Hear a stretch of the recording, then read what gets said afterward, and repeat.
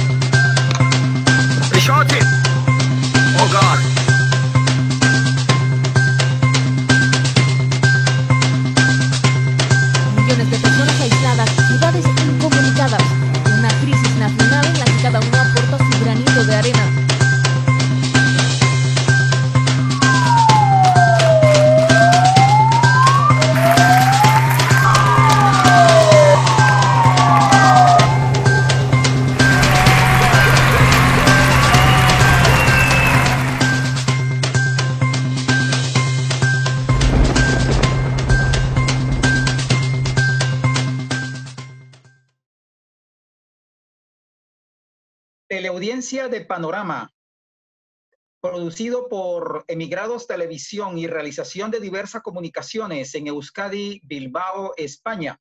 Les saludamos desde Ginebra, Suiza, Eliezer Jiménez. Eh, Víctor Torres en Bilbao, buenos días. Buenos días, Eliezer, gracias por la invitación.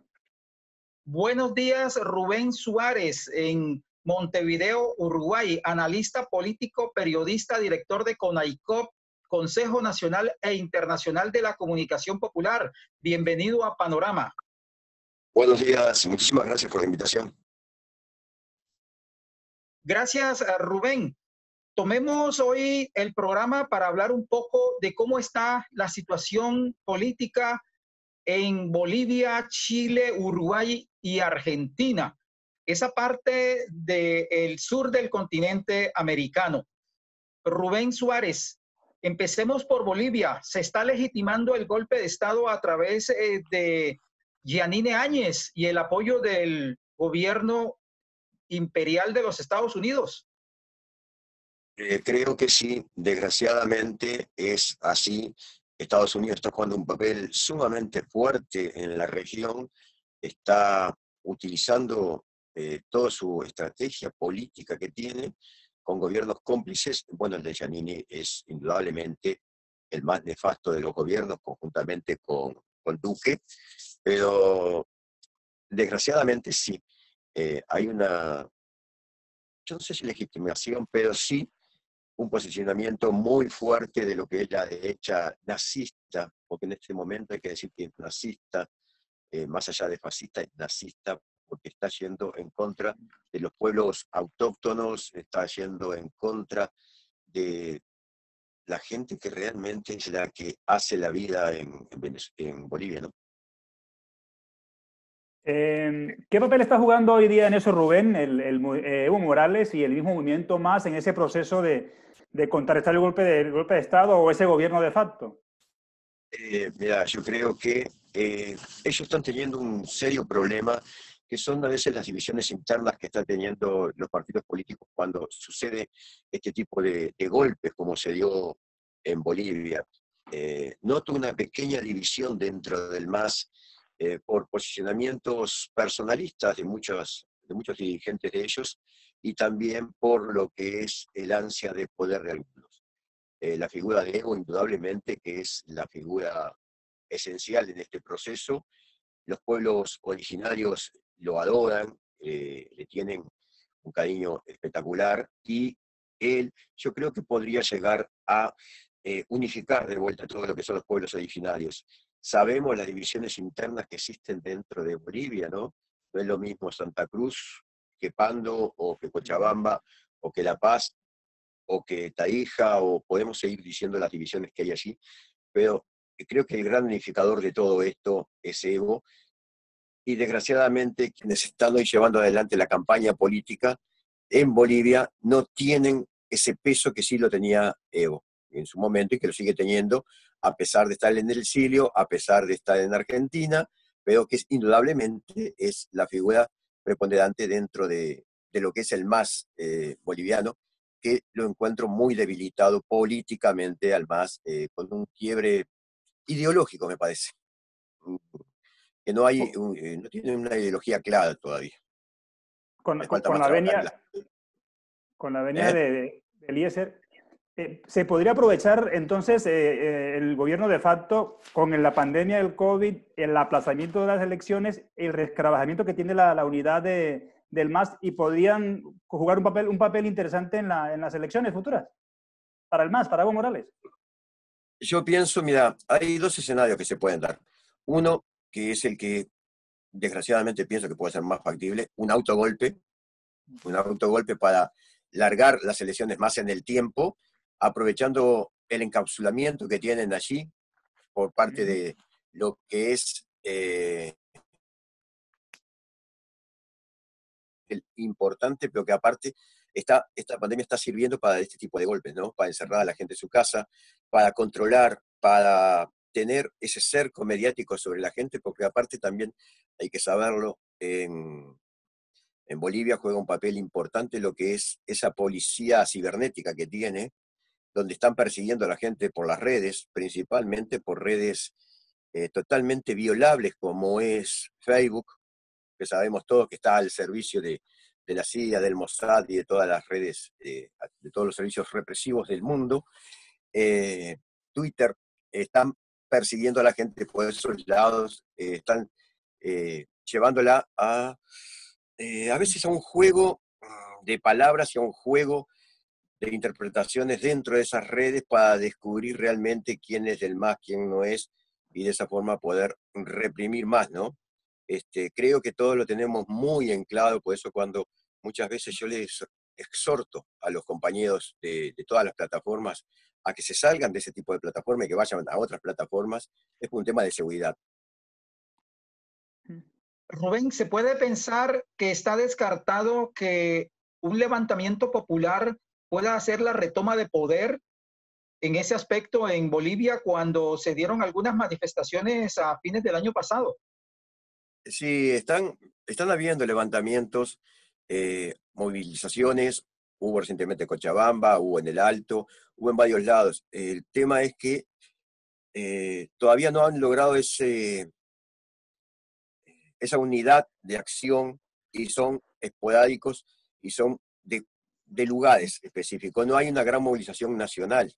Está sabiéndose que eh, la pandemia está jugando, hay mucho miedo y aparte el Estado está jugando un papel importantísimo en la represión, como decía anteriormente.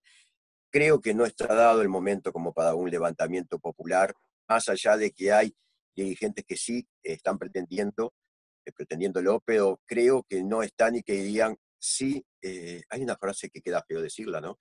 eh, lo que no mata la pandemia lo va a terminar matando años o van a terminar muriendo de hambre. Ese es el problema que está enfrentando hoy por hoy Bolivia.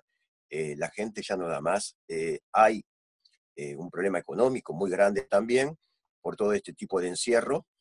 E indudablemente, eh, no creo yo que eh, haya un levantamiento popular porque no están dadas las condiciones, tanto sean las condiciones políticas como las condiciones organizativas que veo muy débil la organización del MAS en, Venezuela, en Bolivia. Rubén, con esa radiografía que nos has hecho sobre Bolivia, la situación que está pasando ahí, lo que se viene luego para las elecciones aprobadas en el Congreso por el MAS eh, prácticamente para el mes de junio, si no estoy mal. Pasamos a Chile, pasamos a Chile y también quisiéramos que nos compartieras una foto de lo que está pasando en el país, enmarcándonos en la protesta que se dio en el mes de octubre, noviembre y que duraron hasta el mes de diciembre, luego la pandemia la transversalizó y ayer, 19 de mayo, volvieron otra vez las protestas. ¿Cómo va ese proceso? ¿Qué, se marca en el futuro de la revuelta, de esa resistencia civil en, Chile? Chile está, está, viviendo un momento eh, muy, eh, muy caliente, ¿no? Se puede decir a partir de octubre, noviembre del año pasado, en el cual las protestas en contra del gobierno, del gobierno de Piñera han ido avanzando, siguen avanzando se han detenido un poquito por el tema de la pandemia, pero hay que saber que el pueblo chileno está luchando y está luchando fuertemente.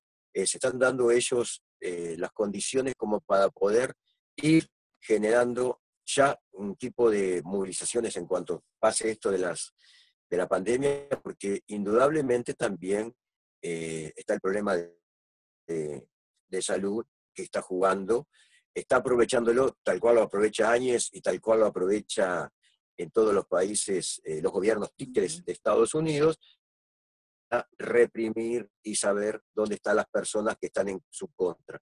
En Chile hay un movimiento estudiantil muy fuerte, muy fuerte.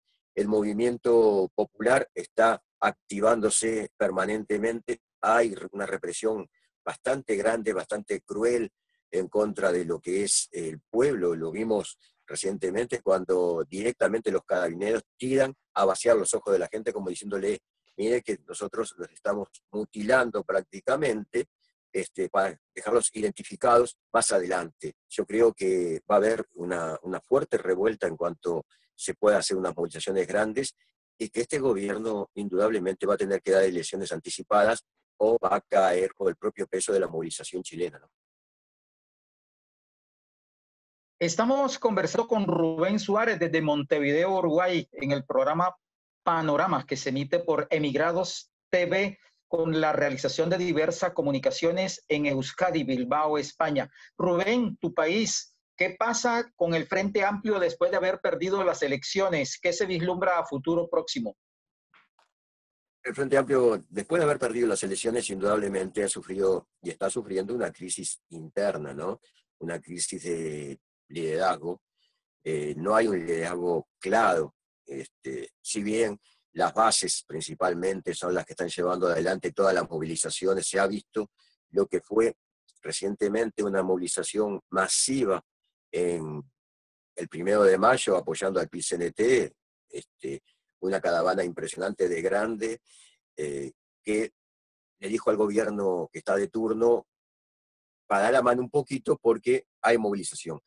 Eh, el frente está pasando esa, ese trance que pasan todos los partidos políticos cuando se pierde una elección por, propia, por la propia culpa del Frente Amplio, se ha perdido también, este, y tiene que hacer sí una autocrítica muy grande, muy grande internamente, porque eh, de no hacerla, eh, la gente la está pidiendo y va a perder credibilidad.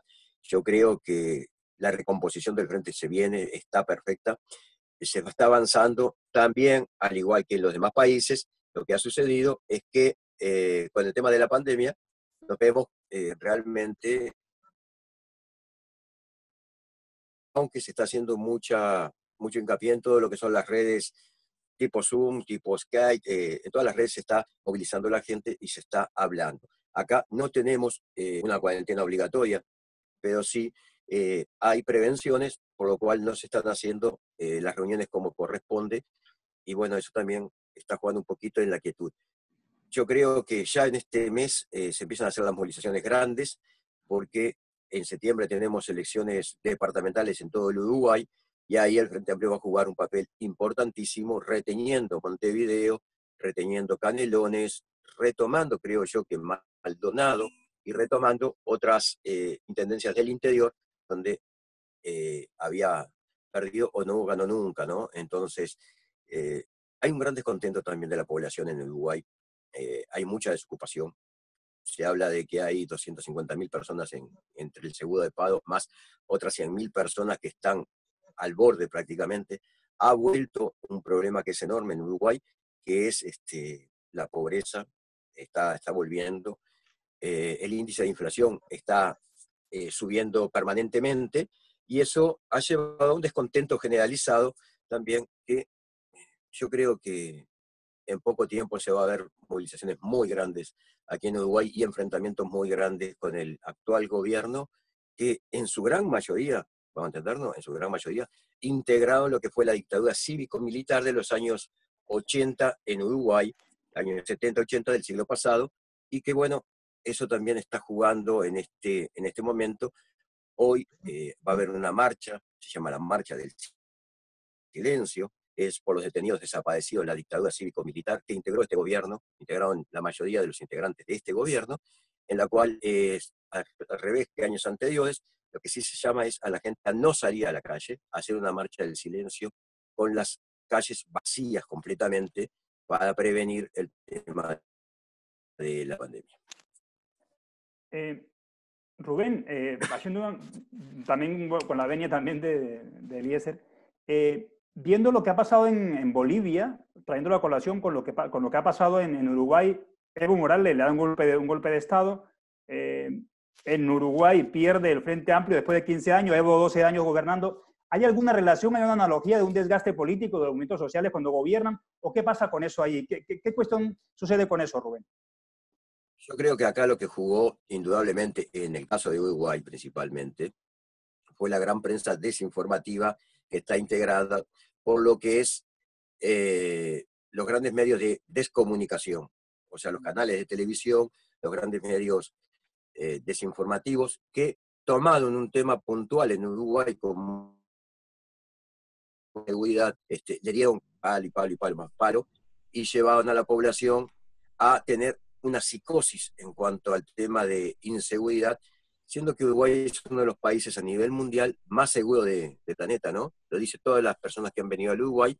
Y bueno, eso eh, jugó, jugó indudablemente, con algunas, eh, algunos eh, problemitas que ha tenido el Frente Amplio en ese momento de no haber sacado a tiempo a un ministro como era Bonomi, que yo no digo que haya hecho mal el ministerio, pero que era un ministro que no era bien visto por la gente y que la gente reclamaba su remoción, el Frente Amplio, a impulso del MPP, de José Pepe Mujica, mantuvo a, a hasta el último momento y ahí es una de las causas por las cuales también eh, el Frente Amplio perdió al no escuchar a la gente cuando pedía la remoción del ministro. Creo que va por ese lado y una gran eh, cadena desinformativa. No olvidemos que también acá estuvo jugando eh, un ajedrecista de primer nivel como es el golpista Rondón, que también estuvo en el golpe de Estado, en los golpes fallidos en Venezuela, ¿no? Creo que no nos perdonaría la teleaudiencia si no le preguntamos a un analista político como Rubén Suárez en Montevideo que conoce el tema de Brasil. Rápidamente, ¿qué piensas tú de la situación de Brasil? Y después hablemos de cómo le está yendo a Cristina y Alberto Fernández, los Fernández en Argentina, Rubén. El tema de Brasil es un tema muy delicado, es el, país continente, es el país que puede indudablemente tener una hegemonía muy grande dentro de América Latina, pero que desgraciadamente tiene a una persona que no está en sus cabales políticamente, que no está en sus cabales, eh, digamos, intelectuales o psicológicos, el cual, contra todo pronóstico, hace todas las cosas al revés de lo que se tiene que hacer, llama a la gente a movilizarse, llama a la gente a... Hoy por Brasil tiene el índice más alto de contagio y de problemas de coronavirus del continente conjuntamente con Estados Unidos de Norteamérica. Entonces, eh, esa, esa economía brasilera se va a ver decaída indudablemente y eso va a traer aparejado, cosa que ya está prevista a nivel mundial una crisis económica donde los grandes empresarios brasileños ya se están eh, frotando las manos porque las ganancias que van a tener son enormes. Con un gobierno represor, represor de su población, con un gobierno represor en cuanto al tema de trabajo, en cuanto al tema educacional, el tema de salud, represor en todos lados, siguiendo el ejemplo de su amigo Donald Trump o de el país sionista como es Israel.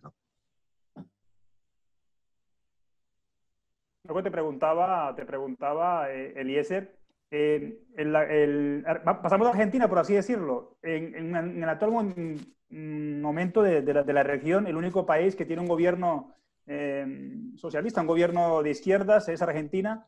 ¿qué, ha significado el cambio para Argentina? ¿Cómo lo, ve, ¿Cómo lo ve la gente de Argentina en la calle? ¿Cómo siente ese cambio político y social que está pasando ahora el país? Y, y, al hilo de eso, te uno la siguiente pregunta. en el gobierno anterior se empezó a construir la base militar norteamericana en suelo argentino. ¿Eso en qué va? ¿En qué proceso va esa situación? En cuanto a la base, vamos a por la base. Eh, sí, empezó con el gobierno de Macri. en realidad, esa base todavía se sigue construyendo. Yo calculo que capaz que la pueden llegar a detener. Es un clamor popular que la detengan. Eh, la gente está pidiendo que se detenga esas bases.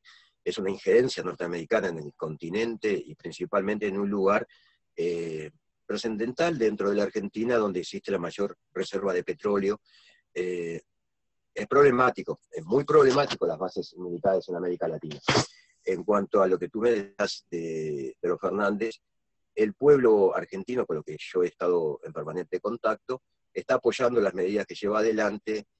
Hay, hay preocupación, preocupación económica, como es lógica, pero están llevándola lo mejor posible, sabiendo que es un país que lo tomaron en ruinas total por el gobierno de Macri, endeudado totalmente, con una gran crisis eh, financiera, política, social, en todo, en todo instante y en todo momento, pero que eh, ha llevado a que Argentina hoy poco a poco se vaya levantando con las medidas que están haciendo adelante los Fernández.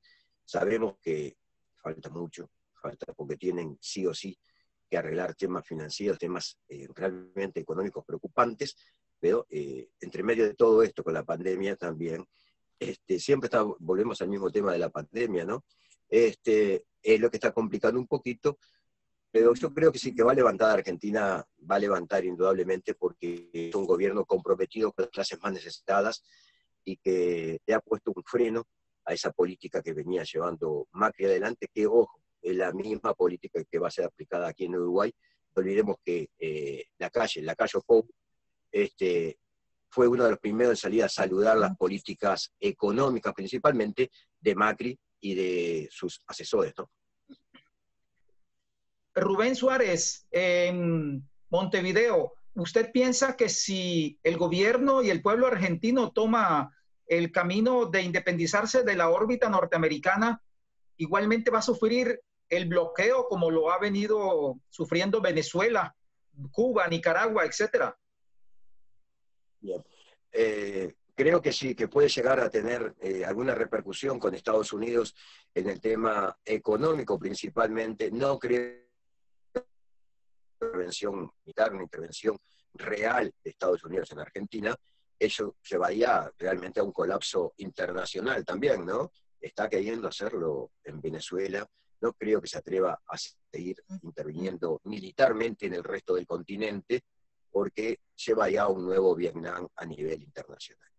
Creo sí que va a presionar a los Fernández para que se alinee a sus políticas eh, liberales que tiene Estados Unidos hacia la región y de entrega de los patrimonios nacionales de cada uno de los países a su antojo, pero creo que también los Fernández no lo van a aceptar. Va por ese lado y creo que eh, se viene también un momento tenso a nivel de relaciones internacionales en América Latina, porque otros que van a jugar un papel importante también es la gente, los títeres del cártel de Lima, con su titeteo Donald Trump, ¿no? Bueno, agradecerle a Rubén Suárez en Montevideo, la República Oriental del Uruguay, por acompañarnos hoy día en el programa Panorama que se emite por Emigrados TV en Euskadi, Bilbao, España. Realización de diversas comunicaciones y agradecerle a Maya, a Víctor Torres en Bilbao, muchas gracias y para una próxima oportunidad. Les habló desde Ginebra, Suiza, Eliezer Jiménez Julio.